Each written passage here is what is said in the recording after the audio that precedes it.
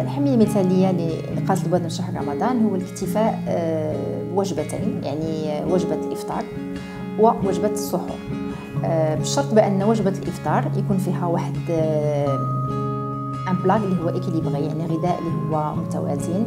يعني نعتمدوا على واحد la méthode اللي سميتها ال plate method يعني الثلث ديال الصحن كتكون فيه بروتينات الثلث كتكون فيه نشويات والثلث الآخر كتكون فيه ألياف على شكل خضر.